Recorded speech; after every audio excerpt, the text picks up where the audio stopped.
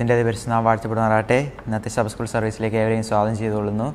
ഗാനശ്രീയുടെ ആരംഭമായി തൊള്ളായിരത്തി പന്ത്രണ്ടാമത്തെ പാട്ടുപാടം. ഒൻപത് ഒന്ന് രണ്ട്.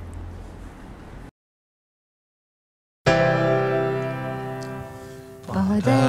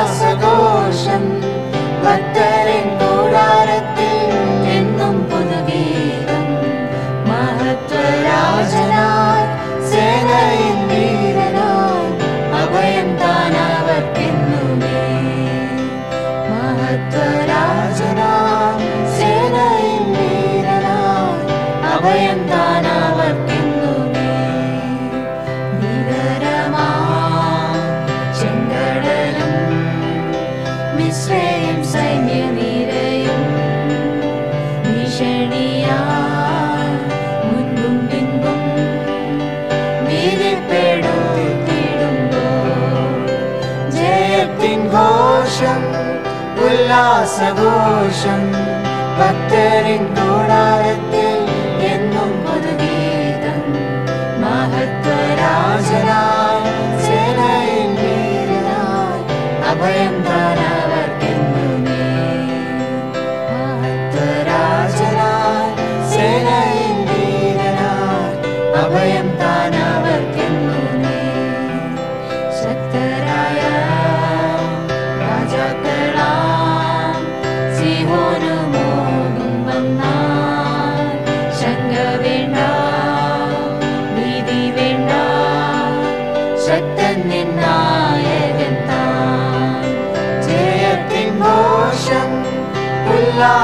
சந்தோஷம் பக்தரின் கூடாரத்தில் என்னும் புதுகீதம்.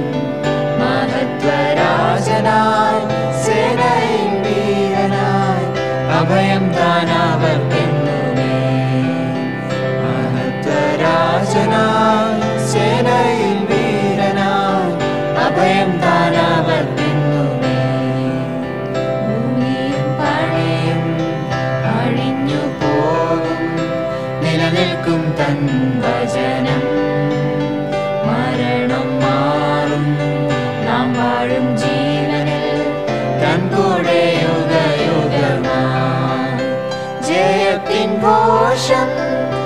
ोषम् भक्तार कोडारे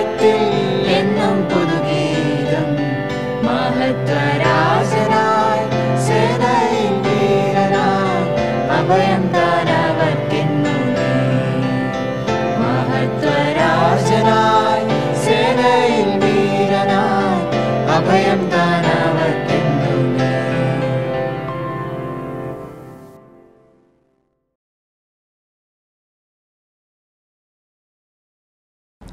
അടുത്തായി ആയിരത്തി ഒരുന്നൂറ്റി പന്ത്രണ്ടാമത്തെ പാട്ട് പാടാം. ഒന്ന് ഒന്ന് ഒന്ന് രണ്ട്.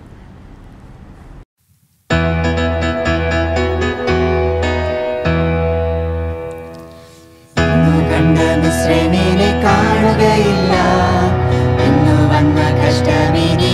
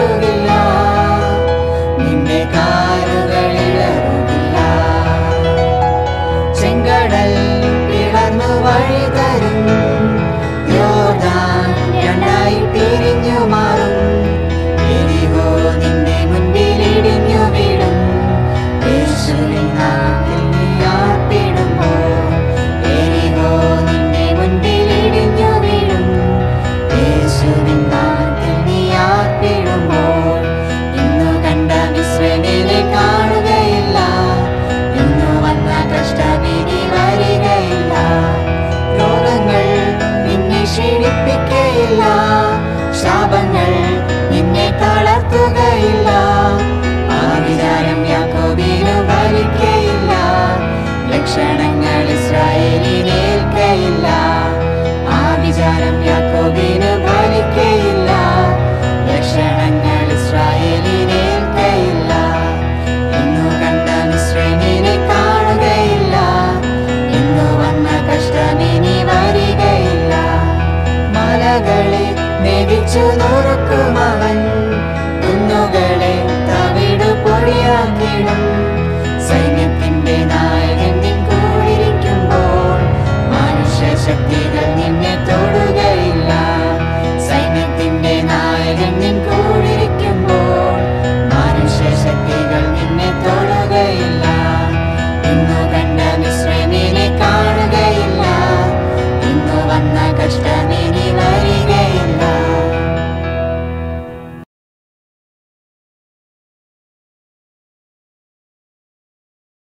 ദൈവനാമത്തിന് മഹത്വം ഉണ്ടാകുമാറാകട്ടെ കഴിഞ്ഞ ഒരാഴ്ച വട്ടക്കാരൻ നമ്മളെ എല്ലാ ആപത്തുനിന്നും അനർത്ഥങ്ങളിൽ നിന്നും വിടുവിച്ച ദൈവത്തിന് നമുക്ക് ആദ്യം നന്ദി അർപ്പിക്കാം.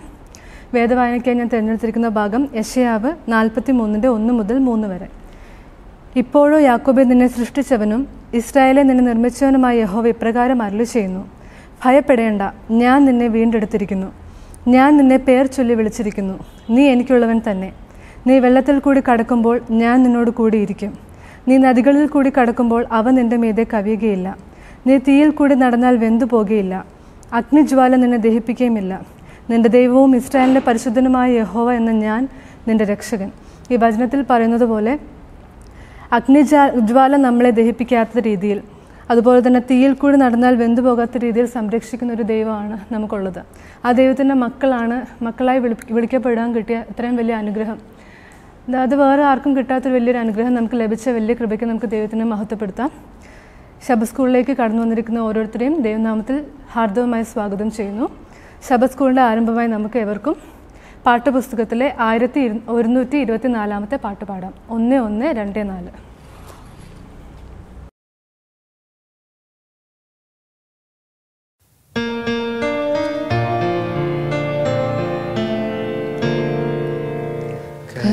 കരുതുന്നവൻ ഞാനല്ലയോ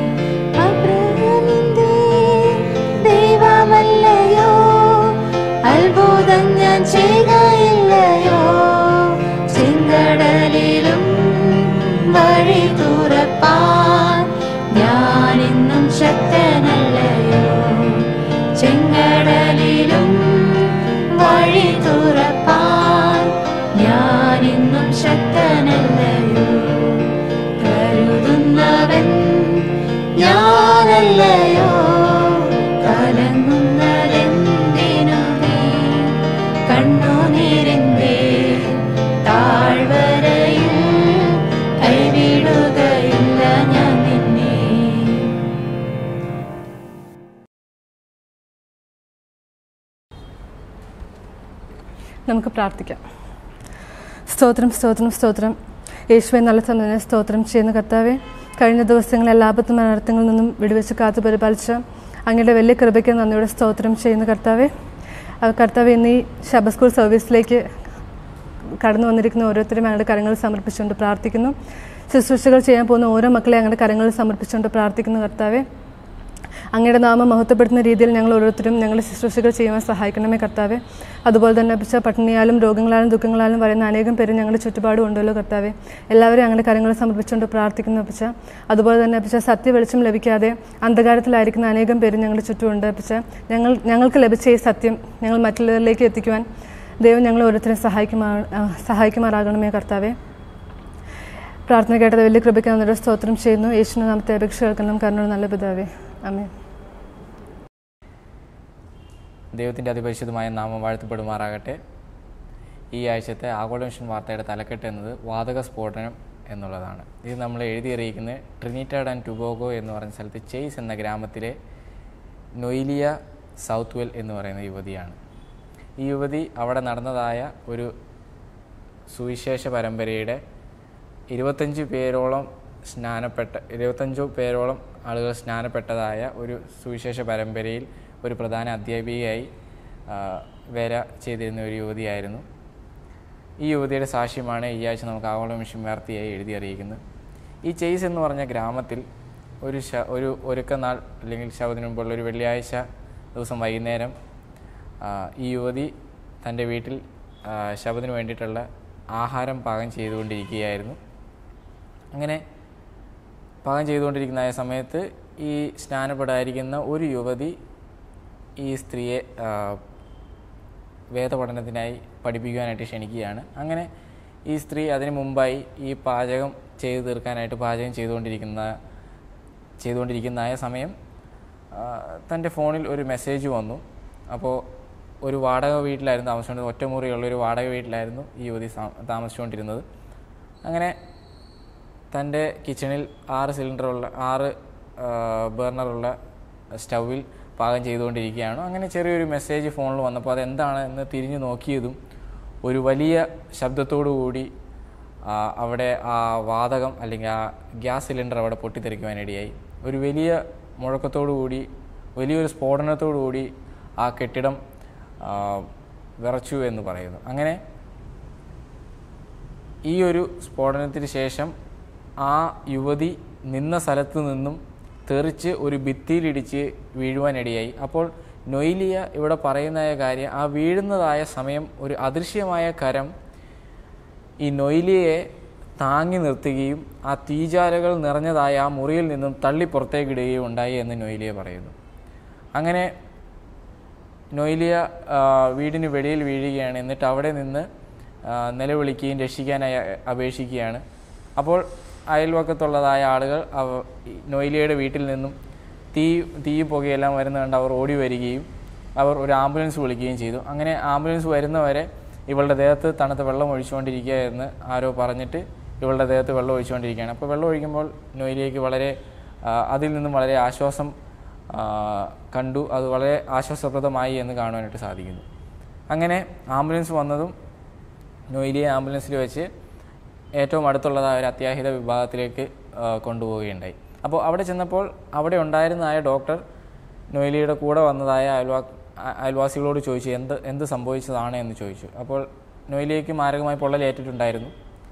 അങ്ങനെ എന്ത് പറ്റിയെന്ന് ഡോക്ടർ ചോദിച്ചപ്പോൾ അയൽവാ അയൽപക്കത്തുള്ളവർ അവർ പറഞ്ഞു അയൽവാസികൾ പറഞ്ഞു ഗ്യാസ് സിലിണ്ടർ പൊട്ടിത്തെറിച്ചതാണ്. ഇത് കേട്ടപ്പോൾ ഡോക്ടർക്കും വളരെ അത്ഭുതമുണ്ടായി. കാരണം ഒരു ഗ്യാസ് സിലിണ്ടർ പൊട്ടിത്തെറിച്ചിട്ട് എങ്ങനെ അംഗഭംഗമില്ലാതെ ഇവൾ ഇപ്പോഴും ജീവിച്ചിരിക്കുന്നു? ഒരു- പ്രശ്നവും അതായത് ഗുരുതരമായി യാതൊരു അപകടവും പറ്റാതെ ഇവൾ എങ്ങനെ ജീവിച്ചിരിക്കുന്നു? ഒരിക്കലും ഒരു ഗ്യാസ് സിലിണ്ടർ പൊട്ടിത്തെറിച്ച് കഴിഞ്ഞാൽ അവിടെ ഉണ്ടായിരുന്ന മനുഷ്യൻ ഒരിക്കലും പിന്നീട് ജീവൻ ഉണ്ട് പിന്നീട് ജീവിതത്തിലേക്ക് മടങ്ങി വരാനായിട്ട് സാധിക്കില്ല. അദ്ദേഹത്തിന്റെ ജീവൻ പൂർണമായി നഷ്ടമാകേണ്ടതാണ്. എങ്ങനെ ഇവൾ ഇപ്പോഴും ജീവനോട് ഇരിക്കുന്നു എന്നുള്ളതിൽ ഡോക്ടർ വളരെ അത്ഭുതപ്പെട്ടു എന്ന് കാണാനായിട്ട് സാധിക്കും. ഇതെല്ലാം കേട്ടുകൊണ്ടിരുന്നതായ നൊയിലിയ മനസ്സിൽ പറഞ്ഞു ദൈവത്തിന് എന്നെ കൊണ്ട് വലിയൊരു പദ്ധതിയുണ്ട്. എന്നിൽ ഒരു പദ്ധതി ദൈവം ആവിഷ്കരിച്ചിട്ടുണ്ട്. ദൈവം എന്നെ സഹായിച്ചു എന്ന് പറഞ്ഞ് നമ്മൾ ദൈവത്തോട് ആ സമയം നന്ദി പറയുന്നതായിട്ടാണ് നമുക്ക് കാണാനായിട്ട് സാധിക്കുന്നത്. അങ്ങനെ നൊയിലിയ സ്ഥിരതയിലേക്ക് തിരിച്ചു വരുവാനായിട്ട് അവർ കാത്തിരുന്നു. അങ്ങനെ നൊയിലിയ പഴയ ജീവിതത്തിലോട്ട് കുറച്ച് കഴിഞ്ഞപ്പോൾ തന്റെ ബോധമെല്ലാം പഴയ സ്ഥിരതയിലോട്ട് വന്നു കഴിഞ്ഞപ്പോൾ നൊയിലിയ ആശുപത്രിയിൽ നിന്നും വേറൊരു സഭാംഗം അവളെ വീട്ടിലേക്ക് വിളിക്കുകയുണ്ടായി. അന്ന് തന്നെ ആശുപത്രിയിൽ നിന്നും ആ സഭാംഗത്തിന്റെ വീട്ടിലോട്ട് പോവുകയാണ്. അങ്ങനെ അവിടെ ചെന്നതിന് ശേഷം സംഭവമായിട്ട് ഈ സ്ഫോടനത്തിന്റെ കാര്യങ്ങളെല്ലാം വിവരിച്ച് അവൾ അനുഭവപ്പെട്ടതായ ആ ഒരു അത്ഭുതം അവൾ അവിടെ വിവരിക്കുകയുണ്ടായി. അങ്ങനെ വിവരിച്ച് ഇവർക്കും വളരെ സന്തോഷം. അവർ നൊയിലിയോടൊത്ത് പാടുകയും പ്രാർത്ഥിക്കുകയും ചെയ്തു. അതിനുശേഷം പിന്നീട് ശവത്തിലോട്ട് പോകാനായിട്ട് തുടങ്ങിയപ്പോൾ അവളുടെ കാലുകളെല്ലാം വളരെ നീര് വെച്ചിട്ട് നടക്കാൻ വയ്യാത്ത ഒരു അവസ്ഥയിലേക്ക് വരികയാണ്. പിന്നെ ഒന്നര മാസത്തോളം നോയിലിയ ബെഡിൽ തന്നെയായിരുന്നു വിശ്രമ ജീവിതമായിരുന്നു എന്ന് കാണുന്നു. ആ ഒരു ഒന്നര മാസവും അവിടെ ഉണ്ടായിരുന്നതായ സഭാംഗങ്ങൾ പ്രത്യേകിച്ച് സ്ത്രീകൾ നോയിലിയെ എപ്പോഴും വന്ന് സന്ദർശിച്ചുകൊണ്ടിരുന്നു പ്രാർത്ഥിച്ചുകൊണ്ടിരുന്നു. പാസ്റ്റർമാരും വന്ന് നൊയിലിയോടൊത്ത് പ്രാർത്ഥിച്ച് ദൈവത്തിന് നന്ദി പറഞ്ഞുകൊണ്ടിരുന്നു എന്ന് നമുക്ക് കാണാനായിട്ട് സാധിക്കും. അങ്ങനെ ഈ ഒന്നര മാസത്തിന് ശേഷം നൊയിലിയ പഴയ ജീവിതത്തിലേക്ക് കടന്നു വരികയും അവളുടെ ദേഹത്തുണ്ടായതായ പൊള്ളലെല്ലാം തന്നെ പൂർണമായും അവിടെ സുഖം പ്രാപിക്കുന്നതായിട്ട് കാണുന്നത് അവളുടെ സുഖം പ്രാപിച്ചപ്പോൾ അവൾക്ക് വന്നതായ ഈ രോഗശാന്തി ഡോക്ടർമാർക്കും വളരെ അത്ഭുതമായിരുന്നു. ഡോക്ടർമാർ നൊയിലിയോട് പറഞ്ഞു നീ വളരെ ഭാഗ്യവതിയാണ് എന്ന് പറഞ്ഞു. അപ്പോൾ നൊയിലിയ തിരിച്ചു പറഞ്ഞു ഞാൻ ഭാഗ്യത്തിൽ വിശ്വസിക്കുന്നില്ല. എന്നാൽ ദൈവത്തിൽ വിശ്വസിക്കുന്നു. എന്നെ ദൈവം എന്നെ അനുഗ്രഹിച്ചു എന്ന്. ദൈവത്തിന് നന്ദി പറയാൻ ദൈവത്തെ അവിടെ ഉയർത്തി കാണിക്കുവാനും നൊയിലിയ അവിടെ മുൻകൈയെടുത്തു എന്ന് നമുക്ക് ഈ ഭാഗത്തിലൂടെ കാണുവാനായിട്ട് സാധിക്കും.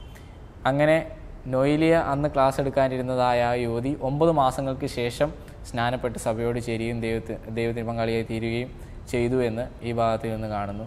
തീർച്ചയായിട്ടും ദൈവവേല ചെയ്യുന്നതിൽ നിന്നും ഒരിക്കലും നൊയിലിയെ അല്ലെങ്കിൽ എന്നെ പിന്തിരിപ്പിക്കാൻ കഴിയുകയില്ല എന്നുള്ള പ്രസ്താവനയോടുകൂടി നമ്മുടെ ശാബ സ്കൂൾ ആഗോള മിഷൻ കാണിക്കകൾക്ക് കാണിക്കയിലൂടെ അവരെ സഹായിക്കുന്നതിന് നന്ദി പറഞ്ഞുകൊണ്ട് ഈ ആഗോള മിഷൻ വാർത്ത ഇവിടെ തീരുകയാണ്. എന്നാൽ ഈ പാഠഭാഗത്ത് നിന്ന് നമുക്ക് മനസ്സിലാക്കാനായിട്ട് സാധിക്കുന്നത് എത്ര വലിയ പ്രതിസന്ധികൾ നമ്മൾ നേരിട്ടാലും തന്റെ ജീവൻ തന്നെ പോകാമായിരുന്നതായ ആ ഒരു സന്ദർഭത്തിൽ കൂടെ നൊയിലിയ എന്ന് പറഞ്ഞ ഈ യുവതി സൃഷ്ടാവായ ദൈവത്തിന്റെ അദൃശ്യ കരങ്ങൾ അവൾക്കവിടെ അവൾക്കവിടെ അനുഭവിക്കാനായിട്ട് കഴിഞ്ഞു. ദൈവത്തിന്റെ ഒരു വലിയ കരുതൽ അവൾക്ക് അവിടെ അനുഭവിക്കാനായിട്ട് ദൈവത്തിന്റെ ഒരു വലിയ സാക്ഷിയാകാൻ തക്കവണ്ണം നൊയിലിയ അവിടെ കാരണമായി എന്ന് കാണാനായിട്ട് സാധിക്കും. അപ്പോൾ നമ്മളും തീർച്ചയായിട്ടും ദൈവത്തോട് ചേർന്നൊരു വിശ്വാസവും ദൈവം ആഗ്രഹിക്കുന്ന തരത്തിലായ ഒരു ജീവിതവും നമ്മൾ കാഴ്ചവെക്കുകയാണെങ്കിൽ തീർച്ചയായിട്ടും എല്ലാ അപകടങ്ങളിൽ നിന്നും ദൈവം നമ്മളെ രക്ഷിക്കുകയും ദൈവത്തിന്റെ അദൃശ്യമായ കരങ്ങൾ ദൈവത്തിന്റെ അദൃശ്യമായുള്ള കരുതൽ എപ്പോഴും നമ്മുടെ കൂടെ ഉണ്ടായിരിക്കും എന്നൊരു ഓർമ്മപ്പെടുത്തൽ കൂടിയാണ് ആവളവിഷം വാർത്തയിൽ നിന്ന് നമ്മൾ അറിയാനായിട്ട് സാധിക്കുന്നത്. ദൈവം നമ്മളെല്ലാവരെയും അനുഗ്രഹിക്കുമാറാകട്ടെ എന്ന് പ്രാർത്ഥിച്ചുകൊണ്ട് ദൈവസന്നിധി താണ്ടിരിക്കുന്നു. ആമേൻ.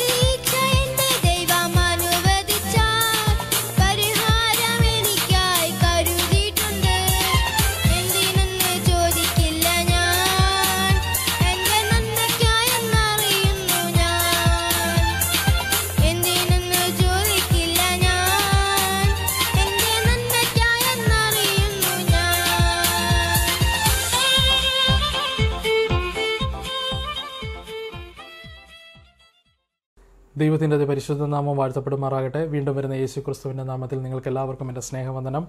എല്ലാവരെയും പാഠത്തിലേക്ക് ഞാൻ സ്വാഗതം ചെയ്യുകയാണ്. നമുക്ക് പഠിക്കാനുള്ള പാഠം നാലാമത്തെ പാഠമാണ്. പാഠത്തിന്റെ തലവാചകം ഒരു നിത്യ ഉടമ്പടി അല്ലെങ്കിൽ കവനന്റ് എന്നാണ്.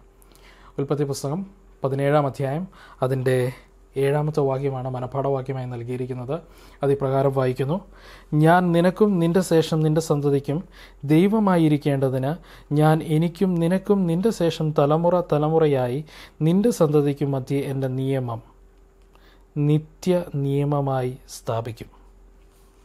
നമുക്കൊരു നിമിഷം കണ്ണുകളെ അടച്ച് പ്രാർത്ഥിക്കാം. ഞങ്ങളെ ഏറ്റവും വത്സനമായി സ്നേഹിക്കുന്ന കർത്താവ് എന്നുള്ള സമയത്തിന് നന്ദിയോടെ സ്തുതിക്കുന്നു നാഥ. ഈ പാഠത്തിനായി നന്ദിയോടെ സ്തുതിക്കുന്നു. അങ്ങയുടെ നിത്യ ഉടമ്പടിയെക്കുറിച്ച് പഠിക്കുവാൻ തക്കോണം അടിയങ്ങളെ അവിടെ നിന്ന് സഹായിക്കുമാറാണെന്ന് പ്രാർത്ഥിക്കുന്നു. അത് അബ്രഹാമിലോടി ചെയ്തതായ ഉടമ്പടിയാണ് എന്ന് അടിയങ്ങൾ മനസ്സിലാക്കുന്നു നാഥ. ഈ ഉടമ്പടിയെക്കുറിച്ച് കൂടുതലായി മനസ്സിലാക്കുവാൻ തക്കോണം ഗ്രഹിക്കുവാൻ തക്കോണം അടിയങ്ങളെ അവിടെ നിന്ന് സഹായിക്കുമാറാണെന്ന് പ്രാർത്ഥിക്കുന്നു. കേൾക്കുന്നവരെ അങ്ങയുടെ കരങ്ങളിലേക്ക് സമർപ്പിക്കുന്നു നാഥ. അവരിലും അങ്ങയുടെ ആത്മാവിനെ പകരുമാറാണെന്ന് പ്രാർത്ഥിക്കുന്നു. അടിയങ്ങൾ പഠിക്കുന്നതായ പാഠങ്ങളൊക്കെയും അടിയങ്ങളുടെ നിന്ന് പ്രാവർത്തികമാക്കുവാൻ അടിയങ്ങളെ അവിടെ നിന്ന് സഹായിക്കുമാറാകണമെന്ന് പ്രാർത്ഥിക്കുന്നു. ഒരിക്കൽ കൂടി എല്ലാവരെയും അങ്ങടെ കരങ്ങളിലേക്ക് സമർപ്പിക്കുന്നു. ചോദിച്ചാൽ അധികം നമ്മൾ നിറയ്ക്കണം എല്ലാം യേശുവിന്റെ നാമത്തിൽ തന്നെ ചോദിക്കുന്നു പിതാവേ അമ്മേ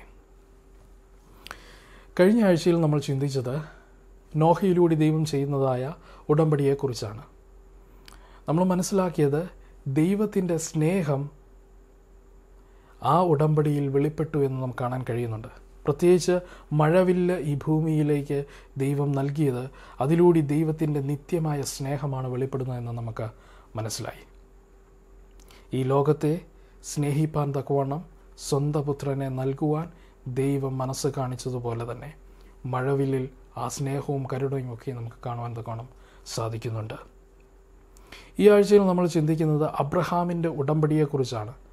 ഇവിടെ പറയുന്നത് അബ്രഹാമിന്റെ ഉടമ്പടി അല്ലെങ്കിൽ അബ്രഹാമിലൂടെ ദൈവം ചെയ്ത ഈ ഉടമ്പടി ഒരു നിത്യമായ ഉടമ്പടിയാണ്.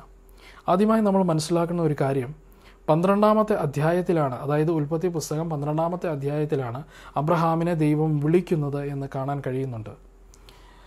അബ്രഹാം എന്നുള്ള പദം നമ്മൾ ഉപയോഗിക്കുമ്പോഴും പതിനേഴാം അധ്യായത്തിന്റെ നാല് അഞ്ച് ആറ് വാക്യങ്ങൾക്ക് ശേഷമാണ് അബ്രഹാം എന്നുള്ളതായ പേര് നൽകുന്നത്.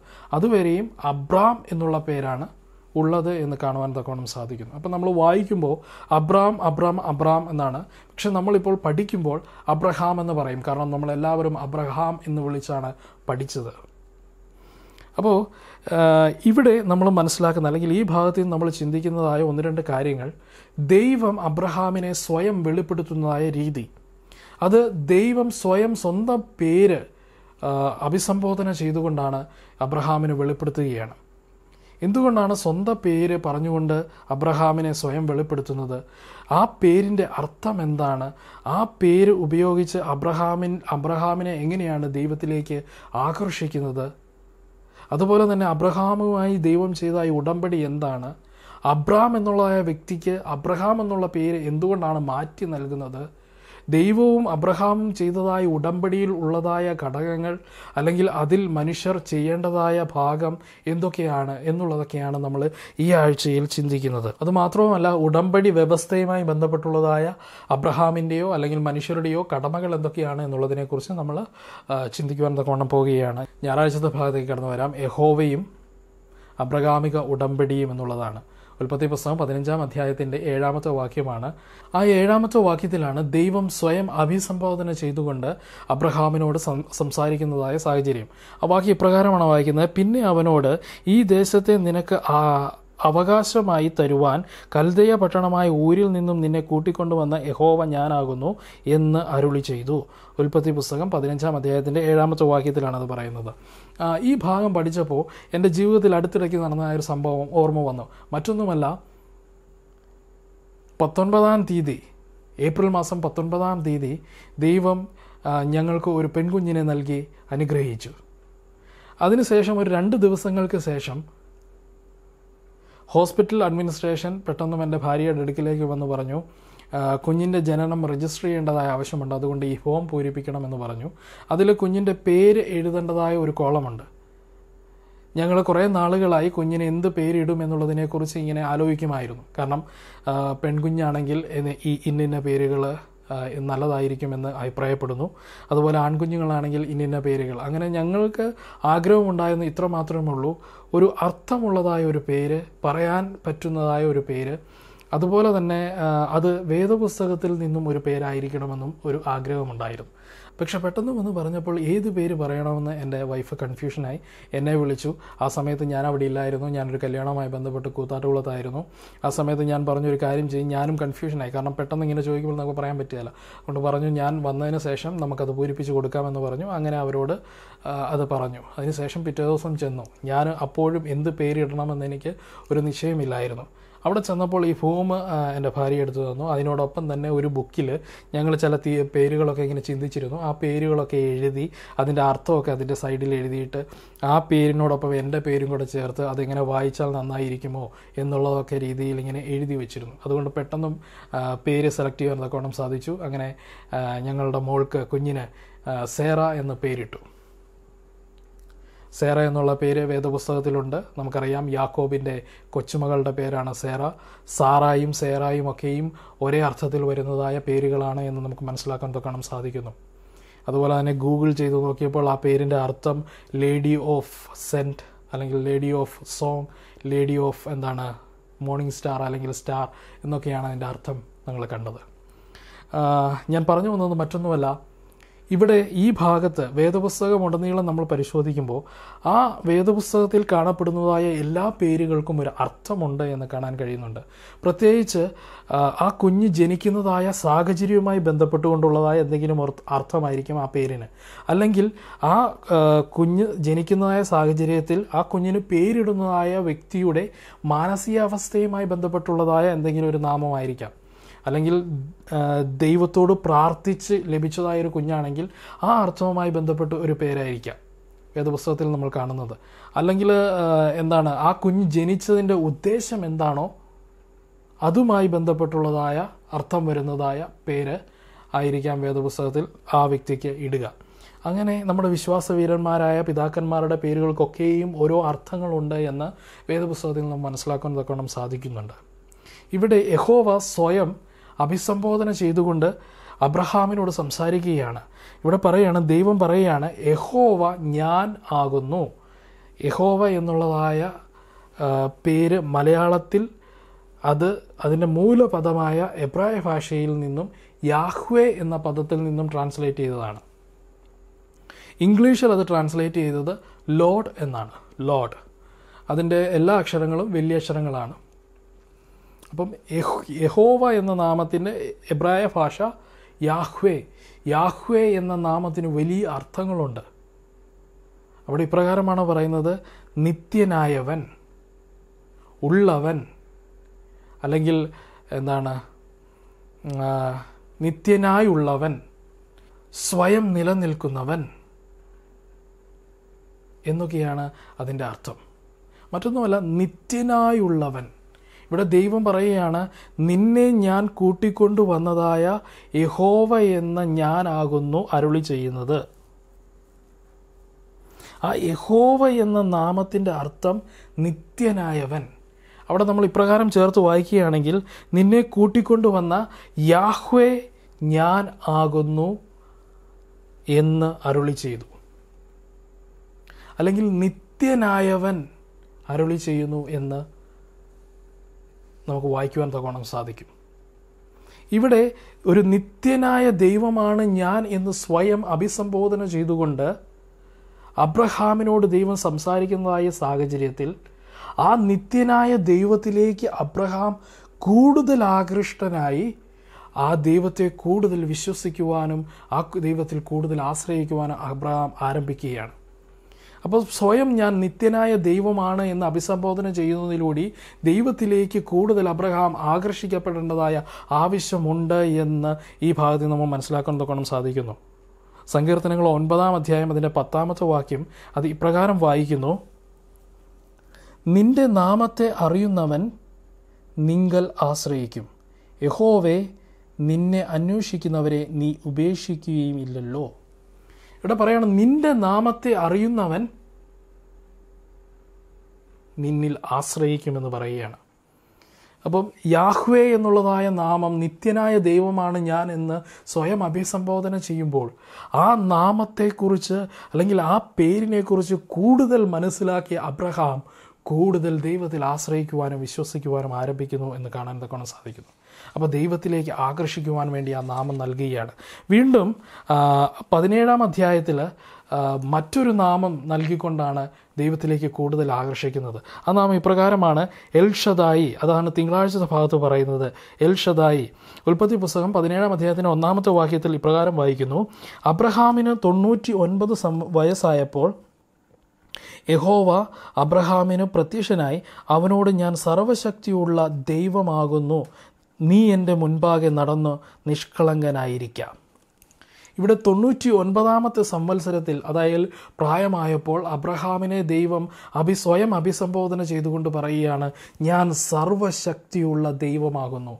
അത് എബ്രായ ഭാഷയിൽ സർവശക്തിയുള്ള ദൈവത്തിന് ഉപയോഗിച്ചിരിക്കുന്ന പദം എൽ ഷദായി എന്നാണ്.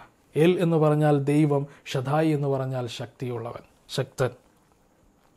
അപ്പോൾ സ്വർ ദൈവം രണ്ട് വിധത്തിലാണ് അബ്രഹാമിനെ സ്വയം അഭിസംബോധന ചെയ്തുകൊണ്ട് സംസാരിക്കുന്നത്. ഒന്ന് ഞാൻ നിത്യനായ ദൈവമാകുന്നു എന്റെ സ്നേഹം നിത്യമാകുന്നു എന്റെ കരുണ നിത്യമാകുന്നു എന്റെ വചനം നിത്യമാകുന്നു എന്റെ ഉടമ്പടി നിത്യമാകുന്നു.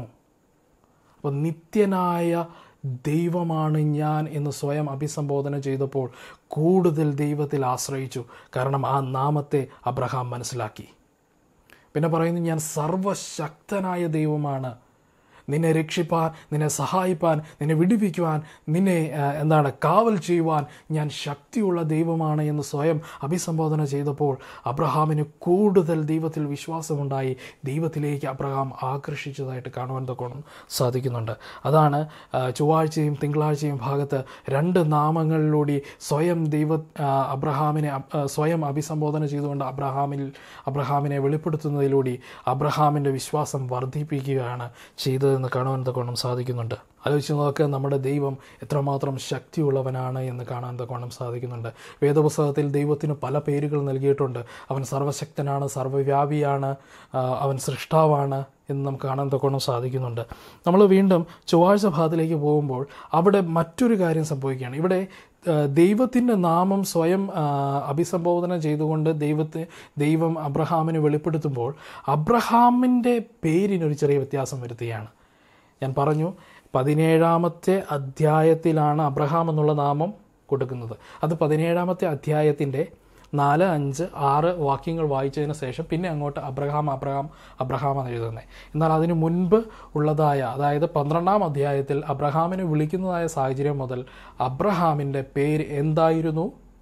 അബ്രാം എന്നായിരുന്നു. നമുക്കറിയാം അബ്രാം എന്നുള്ള ഒരു പേരിൽ നിന്നും അബ്രഹാം എന്നുള്ളതായ പേര് എന്തുകൊണ്ടാണ് ദൈവം നൽകുന്നത് എന്നുള്ളതിനെക്കുറിച്ചാണ് ഈ ഭാഗത്ത് നമുക്ക് നമ്മളെ ഓർമ്മിപ്പിക്കുന്നത്. മറ്റൊന്നുമല്ല ഇവിടെ അബ്രഹാം അബ്രഹാമിനെ ദൈവം കൂടുതലായി വിശ്വാസത്തിൽ വളർത്തിയത് കൂടുതൽ വിശ്വാസത്തിൽ അബ്രഹാം വളർന്നത് ദൈവത്തിൽ കൂടുതൽ ആശ്രയിക്കുവാൻ തക്കോണം അബ്രഹാം മനസ്സ് കാണിച്ചത് ദൈവത്തിന്റെ ഈ നാമം കേട്ടപ്പോഴാണ്. നിത്യനായ ദൈവം സർവശക്തിയുള്ള ദൈവം എന്ന് കേട്ടപ്പോഴാണ്. എന്നാൽ അബ്രഹാമിൽ കൂടുതൽ കോൺഫിഡൻസ് ഉണ്ടാകേണ്ടതായ ഒരു സാഹചര്യമുണ്ട്. കാരണം മറ്റൊന്നുമല്ല പന്ത്രണ്ടാമത്തെ അധ്യായം ഉൽപ്പത്തി പുസ്തകം പന്ത്രണ്ടാമത്തെ അധ്യായത്തിൽ അബ്രഹാമിനെ ദൈവം വിളിക്കുന്ന സാഹചര്യത്തിൽ അബ്രഹാമിനോട് പറയുന്നുണ്ട് നിന്നെ ഞാൻ വലിയൊരു ജാതിയാക്കി മാറ്റാം എന്ന് പറയുന്നുണ്ട്. നിന്നെ അനുഗ്രഹിക്കുന്നവരെ ഞാൻ അനുഗ്രഹിക്കും നിന്നെ ശപിക്കുന്നവരെ ഞാൻ ശപിക്കുമെന്ന് പറയുന്നുണ്ട്.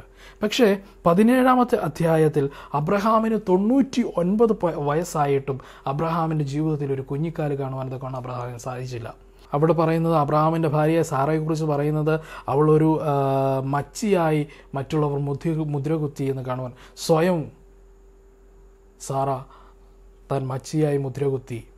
അങ്ങനെയുള്ളതായ സാഹചര്യത്തിൽ എങ്ങനെ അബ്രഹാമിനെ വലിയൊരു ജാതിയാക്കി മാറ്റും എന്ന് ചിന്തിച്ചിരുന്ന സമയത്ത് അബ്രഹാമിന് കൂടുതൽ കോൺഫിഡൻസ് നൽകുവാൻ തക്കവണ്ണം ദൈവം അബ്രാം എന്നുള്ള പേരിൽ നിന്നും അബ്രഹാം എന്നുള്ളതായ പേര് നൽകുന്നതായിട്ട് നമുക്ക് കാണാൻ കഴിയുന്നുണ്ട്. ശ്രദ്ധിക്കണം. അബ്രാം എന്നുള്ള ആ പേരിന്റെ അർത്ഥം. പിതാവ് ഉയർത്തപ്പെട്ടു. എന്നാൽ അബ്രഹാം എന്നുള്ളതായ പേരിന്റെ അർത്ഥം മൾട്ടിറ്റ്യൂഡ് അല്ലെങ്കിൽ ഫാദർ ഓഫ് നേഷൻസ് അബ്രഹാം എന്ന പേരിന്റെ അർത്ഥം എന്താണ്? ഒരു വലിയ സംഘത്തിന്റെ പിതാവ് എന്ന് ആണെന്ന് മനസ്സിലാക്കാൻ തക്കണം സാധിച്ചു. അപ്പോൾ ഈ പേര് മൾട്ടിറ്റ്യൂഡ് അല്ലെങ്കിൽ ഫാദർ ഓഫ് നേഷൻസ് എന്നുള്ളതായ പേര് നൽകിയപ്പോൾ തന്നെ തൊണ്ണൂറ്റി ഒൻപത് വയസ്സുള്ളതായ അബ്രഹാമിന് കൂടുതൽ എന്താണ് ദൈവത്തിൽ ആശ്രയിക്കുവാനും വിശ്വസിക്കുവാനും തക്കവണ്ണം സാധിച്ചു എന്ന് കാണാൻ തക്കവണ്ണം സാധിക്കുന്നുണ്ട്. അപ്പോൾ ഇവിടെ ഒരു മനഃശാസ്ത്രപരമായ രീതിയിൽ അബ്രഹാമിനെ ഉത്തേജിപ്പിക്കുകയും അബ്രഹാമിന് കൂടുതൽ ആത്മവിശ്വാസം നൽകുകയും ചെയ്യുന്നതായിട്ട് അബ്രഹാമിനും സാറയ്ക്കും ആത്മവിശ്വാസം നൽകുന്നതായിട്ട് കാണാൻ തക്കണം സാധിക്കുന്നുണ്ട്. പിന്നീട് നമുക്ക് ആ കഥയൊക്കെ അറിയാം. അവർക്ക് ഒരു കുഞ്ഞിനെ നൽകി ദൈവം അനുഗ്രഹിക്കുന്നുണ്ട്. അതിനെക്കുറിച്ചൊക്കെയും നമ്മൾ ഈ ഭാഗത്ത് ചിന്തിക്കുന്നില്ല. ഈ ഭാഗത്ത് ഇനി നമ്മൾ ചിന്തിക്കുന്നത് ഉടമ്പടിയെക്കുറിച്ചാണ്. അപ്പോൾ അബ്രഹാമിന് എന്തുകൊണ്ടാണ് ആ പേര് മാറ്റിക്കൊടുത്തത് എന്നുള്ളത് അബ്രഹാമിന് ദൈവത്തിൽ കൂടുതൽ ആശ്രയിക്കുവാനുള്ളതായ ഒരു കോൺഫിഡൻസ് നൽകുവാൻ വേണ്ടിയാണ് എന്ന് നമുക്ക് കാണുവാൻ സാധിക്കുന്നുണ്ട്. അബ്രഹാമിനെ ദൈവം പറയുകയാണ് തീർച്ചയായിട്ടും ഞാൻ നീയുമായി ഒരു ഉടമ്പടി ചെയ്തിട്ടുണ്ടെങ്കിൽ അത് നിത്യമായിട്ടുള്ള ഉടമ്പടിയാണ്. അതിനൊരു വ്യത്യാസവും ഉണ്ടാകുകയില്ല എന്ന് ഒന്നും കൂടി ഊന്നി പറയുകയാണ് അബ്രഹാം എന്നുള്ളതായ നാമം അബ്രഹാമിന് നൽകിക്കൊണ്ട്. പതിനേഴാം അധ്യായത്തിന്റെ നാലോ അഞ്ചോ വാക്യങ്ങൾക്ക് ശേഷം പിന്നീട് അബ്രഹാം അറിയപ്പെടുന്നത് അബ്രഹാമായിട്ടാണ് എന്ന് കാണാൻ കാണാൻ സാധിക്കുന്നുണ്ട്.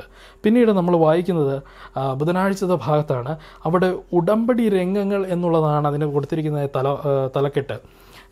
ഇവിടെ നമ്മൾ കാണുന്നതായ കാര്യം മൂന്ന് ഘട്ടങ്ങളായിട്ടാണ് അബ്രഹാമിന് ദൈവം ഈ വലിയ വാഗ്ദത്വം നൽകുന്നത്. ഒന്നാമത്തെ ഘട്ടം എന്ന് പറയുന്നത് അബ്രഹാമിനെ ദൈവം വിളിക്കുകയാണ്. അവിടെ പന്ത്രണ്ടാം അധ്യായത്തിന് ഒന്നു മുതലുള്ളതായ വാക്യം വായിക്കുമ്പോൾ അവിടെ നമുക്ക് കാണാൻ തക്കോണം സാധിക്കുന്നു. അബ്രഹാമിനോട് പറയുന്നു നിന്റെ പിതൃഭവനം വിട്ട് നീ എന്താണ്? ഞാൻ നിനക്ക് കാണിപ്പാനിരിക്കുന്ന ദേശത്തേക്ക് ഓടിപ്പോവുക. അവിടെ നമുക്ക് മനസ്സിലാകുന്ന ഒരു കാര്യം അബ്രഹാമിന് ഏ- എങ്ങോട്ടാണ് പോകേണ്ടതെന്ന് ദൈവം പറയുന്നില്ല. അവിടെ പറയുകയാണ് ഞാൻ കാണിപ്പാനിരിക്കുന്ന ദേശമെന്ന് മാത്രമേ പറയുന്നുള്ളൂ. അപ്പോൾ അബ്രഹാം തിരിച്ചൊന്നും ചോദിക്കുന്നില്ല. എങ്ങോട്ടാണ് പോകേണ്ടത്? ഞാൻ എന്തെങ്കിലും കരുതേണ്ടതായ ആവശ്യമുണ്ടോ? അല്ലെങ്കിൽ എനിക്കെന്തെങ്കിലും ഇവിടെ ചെയ്തു തീർക്കാനുള്ളതായ സാവകാശം തരുമോ? ഒന്നും പറയുന്നില്ല. അബ്രഹാമിനെ വിളിക്കുമ്പോൾ തന്നെ അബ്രഹാം അവിടെ നിന്നും പുറപ്പെട്ട് യാത്ര തിരിക്കുന്നതാണ്. ദൈവത്തിൽ കൂടുതൽ വിശ്വസിച്ച് ദൈവത്തിൽ കൂടുതൽ ആശ്രയിച്ച് അതാണ് അബ്രഹാമിനെ വിശ്വാസവീരന്മാരുടെ പിതാവ് എന്ന് വിളിക്കപ്പെടുവാനുള്ളതായ കാരണം. ആ ദൈവത്തിൽ ഒരു മറുപടി മറുത്തു പറയാതെ ഒരു മറുപടിയും പറയാതെ ഒരു സംശയവും ചോദിക്കാതെ അബ്രഹാമിനെ അബ്രഹാം അവിടെ നിന്ന് യാത്ര തിരിക്കുന്നതായിട്ടാണ് നമ്മൾ കാണുന്നത്. അപ്പോൾ അബ്രഹാമിനെ അവിടുന്ന് വേളിച്ച് വേർതിരിക്കുകയാണ്. അപ്പോഴും കൊടുക്കുകയാണ് നിന്നെ ഞാൻ വലിയൊരു ജാതിയാക്കാം എന്നുള്ളതായ വലിയ വാഗ്ദത്വം വീണ്ടും രണ്ടാമത്തെ ഘട്ടം നമ്മൾ കാണുന്നത് പതിനഞ്ചാമത്തെ അധ്യായത്തിലാണ്. പതിനഞ്ചാമത്തെ അധ്യായം മുഴുവൻ നമുക്ക് വായിക്കുമ്പോൾ അവിടെ അബ്രഹാമുമായി ചെയ്തതായി ഉടമ്പടി നിന്നെ വലിയ ജാതിയാക്കാം എന്നുള്ള ഉടമ്പടി ദൈവം എങ്ങനെയാണ് അത് പ്രതിജ്ഞ ചെയ്യുന്നത് എന്ന് കാണാൻ തക്കോണം സാധിക്കുന്നുണ്ട്. ആ ഭാഗത്ത് നമ്മൾ വായിക്കുമ്പോൾ നമുക്ക് മനസ്സിലാകുന്ന ഒരു കാര്യം. അവിടെ മൃഗങ്ങളെ ദൈവം എന്താണ് കൊണ്ടുവരാൻ പറയുന്നു. അതിനെ നടുവേ പിളർക്കാൻ പറയുന്നു. എന്നിട്ട് അതിന്റെ നടുവിൽ നിന്നുകൊണ്ടാണ് ദൈവവുമായിട്ട് അബ്രഹാം പ്രതിജ്ഞ ചെയ്യുന്നത് എന്ന് കാണുവാൻ തക്കോണം സാധിക്കുന്നുണ്ട്. അവിടെ അബ്രഹാമുമായിട്ടുള്ളതായ ഈ ഉടമ്പടി. നമുക്കറിയാം ഉടമ്പടിയിൽ ഒരുപാട് ഘടകങ്ങൾ അടങ്ങിയിട്ടുണ്ട്. അപ്പം അതിന്റെ അകത്തുള്ളതായ മൂന്ന് ഘടകങ്ങൾ എന്താണെന്ന് നമ്മൾ ആദ്യത്തെ പാഠത്തിൽ തന്നെ ചിന്തിച്ചു. ഒന്ന് ദൈവത്തിന്റെ വാക്തത്വങ്ങളുണ്ട് രണ്ട് മനുഷ്യരുടെ അനുസരണമുണ്ട്. അതിൽ അതിനുള്ളിൽ ദൈവീക രക്ഷയ പദ്ധതി അടങ്ങിയിട്ടുണ്ട് എന്ന് കാണാൻ തക്കോണം സാധിക്കുന്നുണ്ട്. അപ്പോൾ ദൈവത്തെ അനുസരിക്കാം എന്നുള്ളതായ വലിയ ഒരു പ്രതിജ്ഞ നമ്മൾ ഓരോരുത്തരും എടുക്കേണ്ടതായ ആവശ്യമുണ്ട്. ഇവിടെ അബ്രഹാം ദൈവത്തെ അനുസരിച്ചു കൊള്ളാമെന്നും ഈ ഉടമ്പടിയുടെ വ്യവസ്ഥകൾ പാലിച്ചു കൊള്ളാമെന്നും ഒക്കെയും എന്താണ് പ്രതിജ്ഞ എടുക്കുന്നതായ സമയം. അതുപോലെ ദൈവം ദൈവത്തിന്റെ വാഗ്ദത്വം ഊന്നി പറയുന്നതായ ഒരു സമയം. കാണാൻ തക്കണം സാധിക്കുന്നു. അപ്പോൾ ആദ്യത്തെ ഘട്ടത്തിൽ ദൈവം അബ്രഹാമിനെ വിളിച്ച് വേർതിരിച്ച് ഒരു ദേശത്ത് ആക്കി. ആ ദേശം അവന് നൽകാമെന്ന് വാഗ്ദത്തം നൽകി. അതിനുശേഷം ആ ദേശത്തിലായിരുന്നു കൊണ്ട് ദൈവം ദൈവത്തിന്റെ ഉടമ്പടി ഒന്നും കൂടി ദൃഢപ്പെടുത്തി പ്രതിജ്ഞ എടുത്ത് നൽകുന്നു. അതിനുശേഷം പതിനേഴാമത്തെ അധ്യായത്തിലേക്ക് കടന്നു വരുമ്പോൾ അവിടെയാണ് ദൈവവും ദൈവം അബ്രഹാം അബ്രഹാമിനെ വലിയൊരു ജാതിയാക്കാമെന്ന് പറയുകയാണ്. അത് മാത്രവുമല്ല അബ്രഹാമിലേക്ക് പലരെയും ദൈവത്തിലേക്ക് ആകർഷിക്കുവാൻ അബ്രഹാമിനെ ഉപയോഗിക്കുന്നതിന് വേണ്ടിയുള്ളതായ ഉടമ്പടി ചെയ്യുന്നതായ ഒരു സാഹചര്യം അവിടെ കാണുന്നുണ്ട്. ദൈവത്തിന്റെ രക്ഷയിലേക്ക് അനേകരെ കൊണ്ടുവരുവാൻ തക്കവണ്ണം അല്ലെങ്കിൽ അനേകരെ ദൈവത്തിന്റെ രക്ഷയിലേക്ക് എത്തിക്കുവാൻ തക്കവണ്ണം അബ്രഹാമിന്റെ ഉടമ്പടിയിലൂടെ അബ്രഹാമുമായി ദൈവം ഉടമ്പടി ചെയ്യുന്നതായിട്ട് നമ്മൾ മനസ്സിലാക്കാൻ തക്കവണ്ണം സാധിക്കുന്നുണ്ട്. അപ്പം ദൈവത്തിന്റെ രക്ഷയ പദ്ധതി അടങ്ങിയിരിക്കുന്ന ഈ ഉടമ്പടി മൂന്ന് ഘട്ടങ്ങളായിട്ട് ദൈവം അബ്രഹാമിലൂടെ ചെയ്യുകയാണ്. എന്ന് നമുക്ക് ഈ ഭാഗത്ത് നിന്ന് മനസ്സിലാക്കുവാൻ തക്കോണം സാധിക്കുന്നു. നമുക്കറിയാം നമ്മളിൽ എല്ലാവരിലും ഭരമേൽപ്പിച്ചിരിക്കുന്നതായ വലിയ ദൗത്യം എന്ന് പറയുന്നത് ദൈവത്തിന്റെ നിത്യസുവിശേഷം സുവിശേഷം ലോകമെമ്പാടും അറിയിക്കുക എന്നുള്ളതാണ്. ഇവിടെ അബ്രഹാമിലൂടെയാണ് അത് ആരംഭിക്കുന്നതെന്ന് കാണുവാൻ തക്കോണം സാധിക്കുന്നു. അബ്രഹാമിനെ ദൈവം വിളിച്ച് വേർതിരിച്ച് ദൈവത്തിന്റെ ഉടമ്പടി പ്രതിജ്ഞ ചെയ്ത് ഉറപ്പിച്ച് അബ്രഹാമിനെ വലിയൊരു ജാതിയാക്കാം എന്നുള്ള ഉറപ്പും വാഗ്ദത്വവും നൽകുന്നത് എന്തുകൊണ്ടാണ്? ഈ സുവിശേഷം എല്ലായിടത്തും എത്തിക്കുന്നതിന് വേണ്ടിയാണ് എന്ന് കാണുവാൻ തക്കോണം സാധിക്കുന്നു. നമുക്കറിയാം ത്രിവിധ ദൂതിലെ ആദ്യത്തെ ദൂത് പറയുന്ന ഇപ്രകാരമാണ് വേറൊരു ദൂതൻ ആകാശമതിയെ പറക്കുന്നത് ഞാൻ കണ്ടു. അവിടെ പറയുന്ന ഇപ്രകാരമാണ് അവന്റെ കയ്യിൽ ഒരു നിത്യ സുവിശേഷം ഉണ്ടായിരുന്നു. ആ സുവിശേഷം എന്തായിരുന്നു? ദൈവത്തെ ഭയപ്പെട്ട് അവന് മഹത്വം കൊടുപ്പിൻ. അപ്പോൾ ഇവിടെ അബ്രഹാമായി ചെയ്യുന്ന ഈ ഉടമ്പടിയിൽ ഇതെല്ലാം ഉണ്ട്. അതായത് ദൈവവുമായിട്ടുള്ളതായ ആരാധന ദൈവവുമായിട്ടുള്ളതായ ബന്ധം നിലനിർത്തുന്നതിന് വേണ്ടി ദൈവവുമായിട്ടുള്ള ആരാധനയുമായി ബന്ധപ്പെട്ടുള്ളതായ ഉടമ്പടികളൊക്കെയും എന്ത് ചെയ്യുന്നു? അബ്രഹാമിലൂടി നൽകുന്നതായിട്ട് നമുക്ക് കാണുവാൻ തക്കോണം സാധിക്കുന്നു. അതുപോലെ തന്നെ ഈ സുവിശേഷം എന്താണ്? സകല രാജ്യത്തും എത്തിക്കുവാൻ തക്കോണം ഭാഷയും വംശവും ആയവരോട് അറിയിപ്പാൻ തക്കോണം അവിടെ പറയുകയാണ് എന്ന് കാണാൻ തക്കോണം സാധിക്കുന്നു. ദൈവത്തെ ഭയപ്പെട്ട് അവന് മഹത്വം കൊടുപ്പിൻ. കാരണം ദൈവം സൃഷ്ടാവായ ദൈവമാണ് എന്ന് വളരെ വ്യക്തമായ ആ ഭാഗത്ത് നിന്ന് നമുക്ക് മനസ്സിലാക്കാൻ തക്കോണം സാധിക്കുന്നു.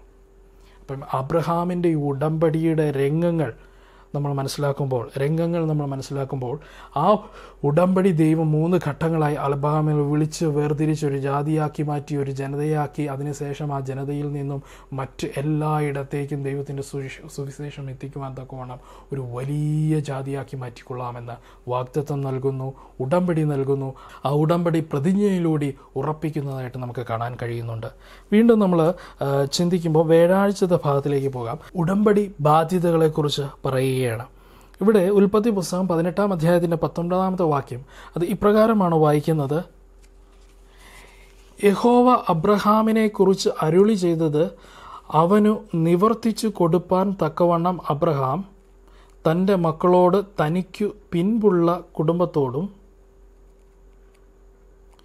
നീതിയും ന്യായവും പ്രവർത്തിച്ചുകൊണ്ട് യഹോവയുടെ വഴിയിൽ നടപ്പാൻ കൽപ്പിക്കേണ്ടതിന് ഞാൻ അവനെ തിരഞ്ഞെടുത്തിരിക്കുന്നു. അപ്പം ഇവിടെ അബ്രഹാമിനെ തിരഞ്ഞെടുത്തതിന്റെ ഏറ്റവും പ്രധാനപ്പെട്ടതായ ഉപദേ കാരണത്തെക്കുറിച്ച് പറയുകയാണ്. ഇവിടെ അബ്രഹാമിനെ തിരഞ്ഞെടുത്തത് എന്തുകൊണ്ടാണ്? ആ ഇവിടെ പറയാണ് നീതിയും ന്യായവും പ്രവർത്തിച്ചുകൊണ്ട് യഹോവയുടെ വഴിയിൽ നടപ്പാൻ കൽപ്പിക്കേണ്ടതിന് ഞാൻ അവനെ തിരഞ്ഞെടുത്തിരിക്കുന്നു എന്ന്. അപ്പോൾ അബ്രഹാമിലൂടെ ദൈവം ഉദ്ദേശിക്കുന്നത് എന്താണ്? സുവിശേഷീകരണമാണ് എന്ന് കാണുവാൻ തക്കോണം സാധിക്കുന്നു. അതുമാത്രവുമല്ല ഇവിടെ പറയുകയാണ് നീതിയും ന്യായവും പ്രവർത്തിക്കേണ്ടതിന് എന്നുള്ളതായ പദം. അബ്രഹാമിനെ നമ്മൾ അറിയുന്നത് വിശ്വാസ വീരന്മാരുടെ പിതാവായിട്ടാണ്. എന്നാൽ ആ വിശ്വാസത്തിൽ അബ്രഹാം പ്രവർത്തിച്ചു എന്ന് കാണാൻ തക്കോണം സാധിക്കുന്നു. അപ്പോൾ വിശ്വാസവും പ്രവൃത്തിയും ഒരുമിച്ച് കൊണ്ടുപോകേണ്ടത് ആവശ്യമാണ് എന്ന് നമുക്ക് മനസ്സിലാക്കാൻ തക്കോണം സാധിക്കുന്നു. രക്ഷയ്ക്ക് നമുക്ക് പക്ഷേ പ്രവൃത്തി ആവശ്യമില്ല. കാരണം രക്ഷ ദൈവത്തിന്റെ കൃപയാണ്. പക്ഷേ നിത്യതയിൽ അവകാശികളായി തീരണമെങ്കിൽ നമുക്ക് അനുസരണ ആവശ്യമാണ് എന്ന് കാണുവാൻ തക്കോണം സാധിക്കുന്നു. ഉടമ്പടിയെ സംബന്ധിച്ചിടത്തോളം നമ്മൾ ചിന്തിച്ച കാര്യമാണ് മൂന്ന് ഘടകങ്ങൾ അതിലുള്ളതിൽ. ഒന്നാണ് അനുസരണം എന്ന് കാണുവാൻ തക്കോണം സാധിക്കുന്നു. ഇവിടെ കഴിഞ്ഞ പാഠത്തിൽ നമ്മൾ ചിന്തിച്ചു ദൈവം ചെയ്യുന്നതായ എല്ലാ ഉടമ്പടിയുടെയും ഗുണഭോക്താക്കൾ എന്ന് പറയുന്നത് മനുഷ്യർ തന്നെയാണ്. മനുഷ്യർ അത് അനുസരിച്ച് കഴിഞ്ഞാൽ ദൈവത്തിന്റെ വലിയ വാഗ്ദത്വം നമുക്ക് ലഭിക്കുന്നു എന്ന് മനസ്സിലാക്കാൻ തക്കണം സാധിക്കുന്നു. അപ്പം മനുഷ്യൻ അനുസരിച്ചാൽ ദൈവത്തിന്റെ വാഗ്ദത്വം ലഭിക്കുന്നു. അതിന്റെ ഗുണഭോക്താക്കൾ നമ്മൾ തന്നെയാണ്. അപ്പം വിശ്വാസത്തിൽ ഉള്ളതായ പ്രവൃത്തി ആവശ്യമാണ്. അല്ലെങ്കിൽ അനുസരണം ആവശ്യമാണ് എന്ന് ഇവിടെ നമുക്ക് കാണുവാൻ തക്കോണം സാധിക്കുന്നുണ്ട്. അതാണ് ഇവിടെ പറയുന്നത് ഉൽപ്പത്തി പുസ്തകം പതിനെട്ടാം അധ്യായത്തിന്റെ പത്തൊൻപതാമത്തെ വാക്യത്തിൽ പറയുന്നത്. അബ്രഹാമിനെ എന്തിനാണ് വിളിച്ചത് എന്നുള്ളതിനെക്കുറിച്ച് വളരെ വ്യക്തമായി പറയുന്നു. നീതിയും ന്യായവും പ്രവർത്തിച്ചുകൊണ്ട് യഹോവയുടെ വഴിയിൽ നടപ്പാൻ കൽപ്പിക്കേണ്ടതിന് ഞാൻ അവനെ തിരഞ്ഞെടുത്തിരിക്കുന്നു. നീതിയും ന്യായവും പ്രവർത്തിച്ചുകൊണ്ട് യഹോവയുടെ വഴിയിൽ നടപ്പാൻ കൽപ്പിക്കേണ്ടതിന് ഞാൻ അവനെ തിരഞ്ഞെടുത്തിരിക്കുന്നു എന്ന് കാണാൻ തക്കോടം സാധിക്കുന്നുണ്ട്. അപ്പം ഉടമ്പടിയിലുള്ളതായ വ്യവസ്ഥകൾ നമുക്ക് ലഭിക്കുന്നതിന് വേണ്ടി അല്ലെങ്കിൽ ഉടമ്പടിയിലുള്ളതായ ആ വാഗ്ദത്തങ്ങൾ നമ്മൾ ലഭിക്കുന്നതിന് വേണ്ടി ഉടമ്പടിയിലുള്ളതായ വ്യവസ്ഥകൾ നമ്മൾ പാലിക്കേണ്ടത് ആവശ്യമാണ്. അതാണ് നമ്മുടെ ഭാഗത്തു നിന്നുള്ളതായ അനുസരണം എന്ന് നമുക്ക് മനസ്സിലാക്കുവാൻ തക്കണം സാധിക്കുന്നുണ്ട്. അപ്പം അബ്രഹാമിന്റെതായ ഈ ഉടമ്പടിയിലൂടെ ദൈവം ഈ ലോകത്തെ വീണ്ടെടുക്കുന്നതായ പദ്ധതി ഇട്ടു എന്ന് കാണാൻ തക്കോണം സാധിക്കുന്നു. തീർച്ചയായിട്ടും ഇതാണ് അബ്രാം എന്നുള്ള പേരിൽ നിന്നും അബ്രഹാം എന്നുള്ള പേര് നൽകിയത് എന്താണ് അവനെ ഒരു വലിയ ജാതിയാക്കാം എന്ന ദൈവം ഒന്നും കൂടി ഉറപ്പിച്ച് പറയുകയാണ് ചെയ്തത്.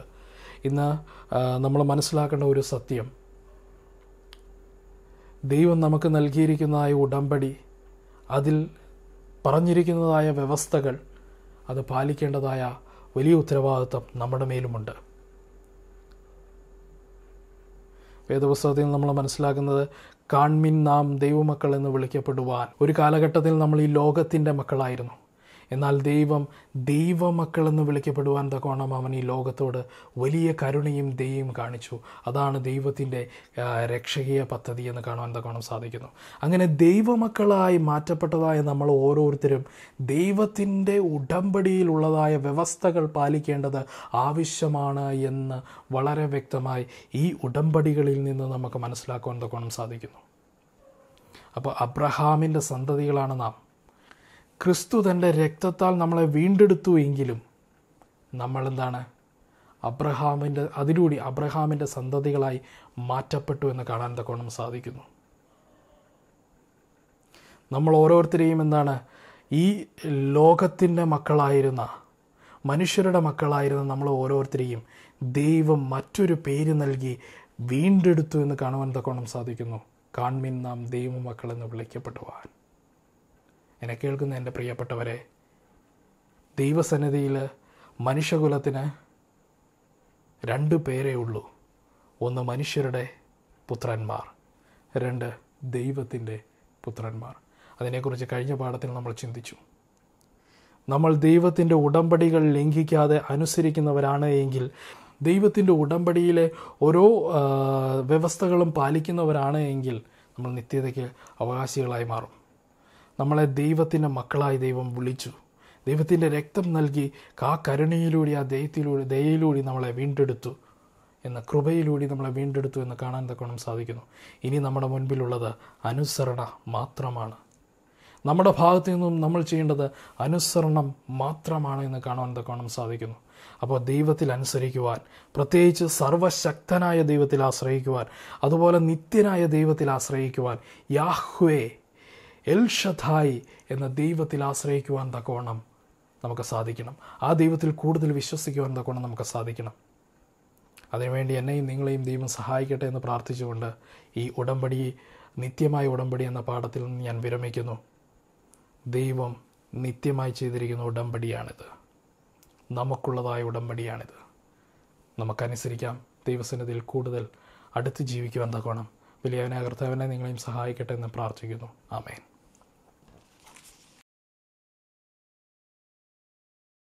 ഇന്നത്തെ സബ്സ്ക്രൈബ് സൃഷ്ടിയുടെ അവസാനമായി അഞ്ഞൂറ്റി എൺപത്തെട്ടാമത്തെ പാട്ട് കാണാം. അഞ്ച് എട്ട് എട്ട്.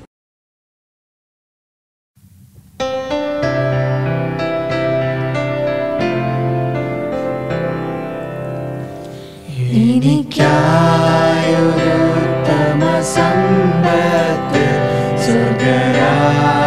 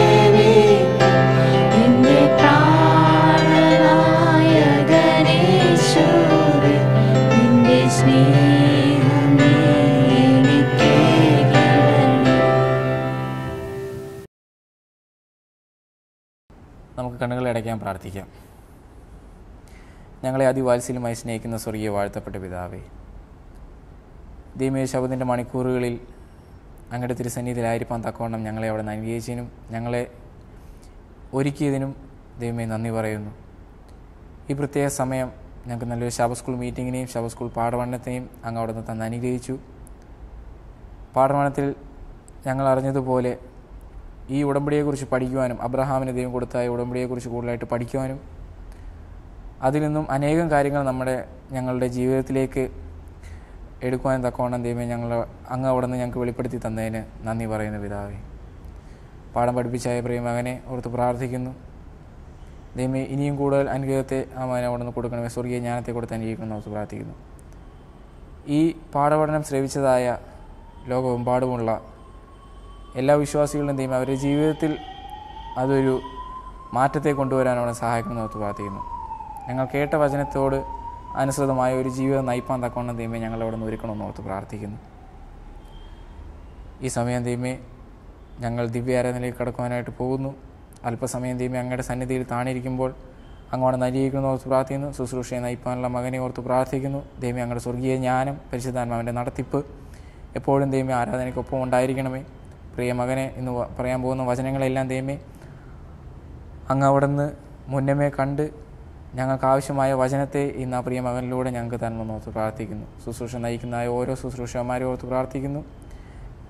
അങ്ങയുടെ അനുഗ്രഹവും അങ്ങയുടെ നടത്തിപ്പും സ്വർഗീയ ജ്ഞാനവും ദൈവം അവരോടൊപ്പം ഉണ്ടായിരിക്കണമെന്ന് ഓർത്ത് പ്രാർത്ഥിക്കുന്നു. ഈ ശവത്തിന്റെ ശേഷിച്ചിരിക്കുന്നതായ മണിക്കൂറുകൾ ദൈവം വിശ്വസ്തയോടുകൂടി നിൽക്കുവാനും ദൈവത്തിൽ ആശ്രയിച്ച് ഈ ശബനാളിൽ സന്തോഷം കണ്ടെത്തി ജീവിപ്പാനും ദൈവം അവിടെ സഹായിക്കണമെന്ന് ഓർത്ത് പ്രാർത്ഥിക്കുന്നു. എല്ലാവിധ അനുഗ്രഹങ്ങളും നിറക്കണം എല്ലാം യേശു ക്രിസ്തു മുഖാന്തരം താഴ്മയിൽ യാചിക്കുമ്പോൾ കൃപയോടെ കേൾക്കണം. സ്വർഗീയ വാഴ്ത്തപ്പെട്ട പിതാവേ. ആമേൻ.